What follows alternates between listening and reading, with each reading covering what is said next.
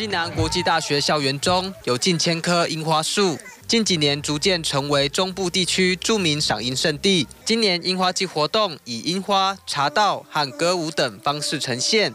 让游客在赏花之余，也能感受文化艺术。来这边，呃，就是感觉说这个樱花是相当的美，空气相当的好。今天有很棒的一些我们南投的一些啊不同族群的表演，然后可以让我们的身心灵都各方面都能够提升。我觉得可以在樱花树下欣赏到这么好的节目，喝到那么好的茶，结合当地的人文，我觉得很好。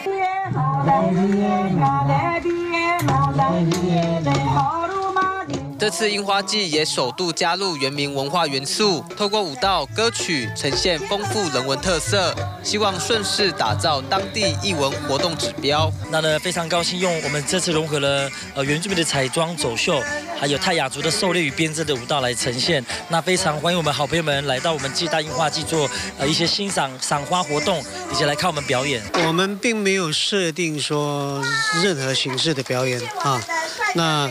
我们就是希望能够带动整个地方的艺文的活动，把它带起来，让这个地方、让校校区，呃，还有在地的人文啊，能够共襄盛举，变成一个非常优质的艺文活动。二十一号的主题场内容多元，除了原民艺术，也有客家文化及爵士乐曲展演。暨大樱花季将持续到三月中旬。